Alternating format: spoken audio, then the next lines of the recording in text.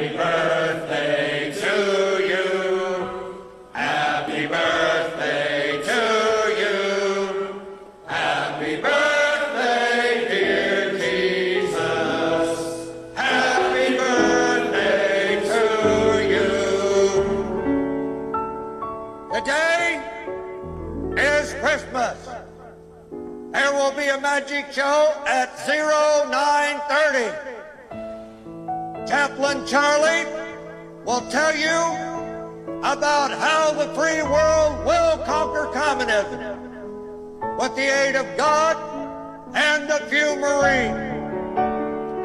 God has a hard on for Marines because we kill everything we see. He plays his games, we play.